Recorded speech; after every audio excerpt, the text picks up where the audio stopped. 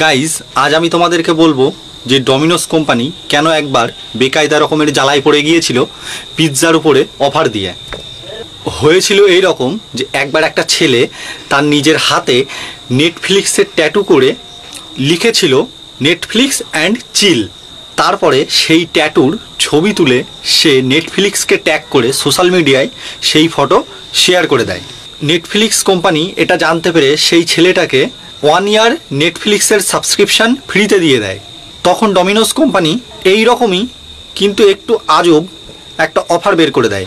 রাশিয়াতে Domino's company এটা announce করে দেয় যে, কেউ যদি নিজের হাতে ডমিনোজের লোগো ট্যাটু করে সোশ্যাল মিডিয়াতে শেয়ার করে, তাহলে তাকে ডমিনোস আগামী একশো বছর ফ্রিতে পিৎজা দেবে।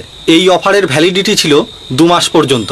কিন্তু পাঁচ দিনের মধ্যেই এত লোক এই ট্যাটু করে ফেলে এবং এই ট্যাটু করা লোকের পরিমাণ এত